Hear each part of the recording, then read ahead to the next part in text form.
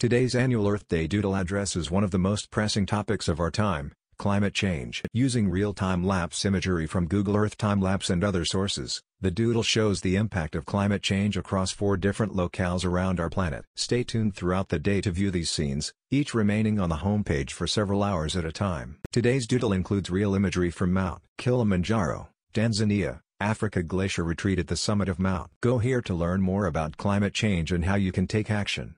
Leila Hadj-Chikh The Ocean Agency ICLEI Europe Credit, U. Geological Survey Department of the Interior slash USGSU. Geological Survey slash photo by Jane Doe. Like, share and subscribe to Doodle Catalog.